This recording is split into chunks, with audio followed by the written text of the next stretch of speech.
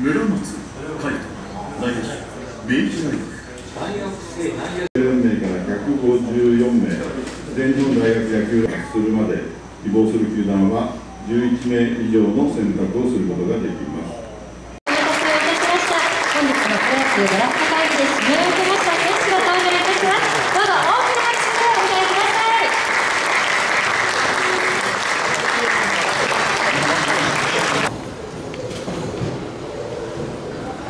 まずはじめに指名を受けた選手たちに今の気持ちを聞かせてもらいたいと思います。埼玉西武ライオンズより育成2巡目で指名を受けました。ヒグマ・モンテル選手今の気持ちを聞かせてください。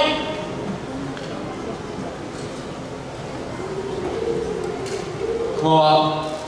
えー、埼玉西武ライオンズから育成に指名されたヒグマモンテルです、えーこの度は本当にプロ野球選手になれて本当に嬉しく思ってます。今まで野球を続けてこれたのは本当に、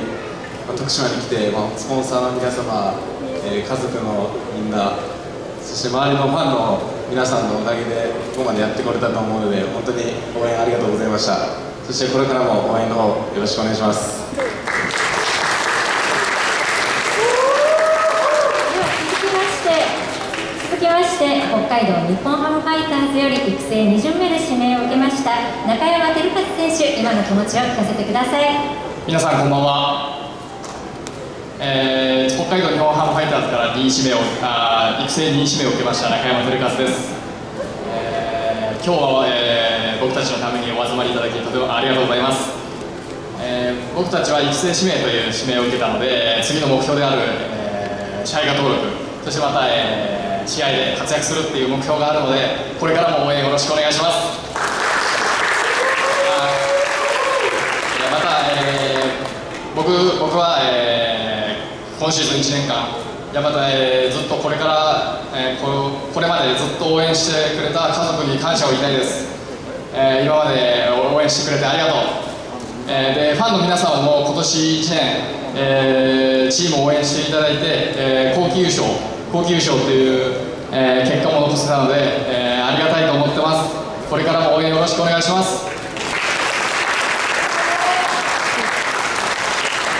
では続いてオリックスバファローズより育成40名で指名を受けました茶野徳正選手。今の気持ちを聞かせてください。こんばんは、